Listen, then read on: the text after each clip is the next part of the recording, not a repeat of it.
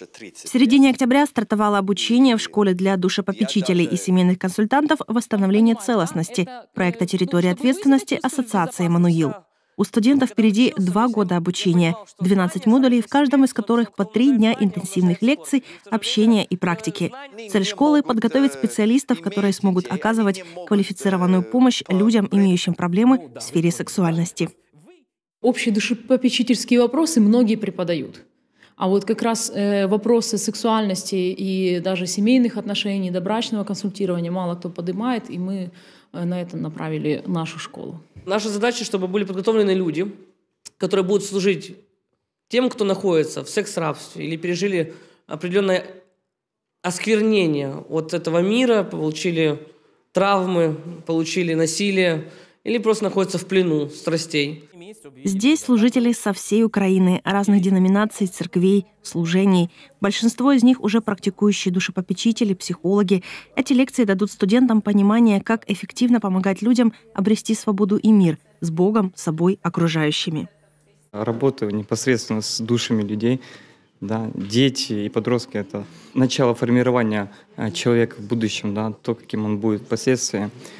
Поэтому хочу в этом тоже себя как бы учить, вот, развиваться. Мы помогаем людей избавиться от раны а, через изменение своей ложной вождения. И очень много людей приходят с сексуальной э, раненой. Почему это очень распространенная проблема? Ну, это один из самых чаще встречающих орудий в дьявол. Который... У студентов обучают консультировать людей, имеющих проблемы, о которых, как правило, в христианской среде не упоминают.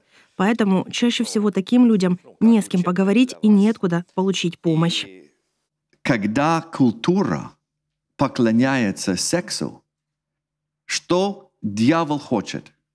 Никаких границ для каждого человека по поводу их сексуальности.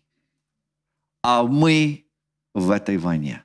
Очень редко, когда кто-то из нас не имеет негативный сексуальные переживания.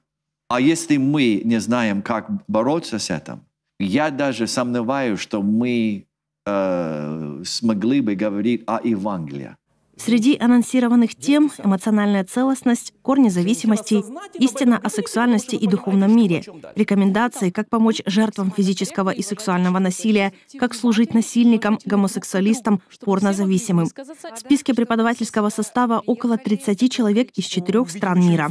И самая интересная тема для меня вот эти первые три дня, она меня так вдохновила. Это было то, о чем я мечтала. Организации большое спасибо, потому что такой великолепный коллектив здесь, такая обстановка очень добрая, очень очень позитивно, это очень располагает. Мы планируем пригласить Иоганна Раймера, Лео Франко, Денис Подорожный, Виктор Куриленко, достаточно ну, известные люди в христианском мире. Люди, которые имеют практический опыт, практику в, в этой сфере служения.